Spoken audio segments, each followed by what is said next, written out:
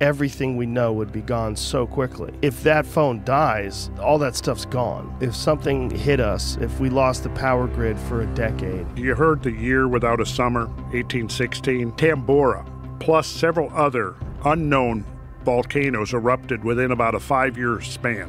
Tambora was the big one, Indonesia, and it disgorged huge amounts of ash and fine sediment into the atmosphere, which circled the globe. And basically, this was in 1815. The following summer, there was basically no summer. They were having Fourth of July commemoration in New England, and it was snowing out.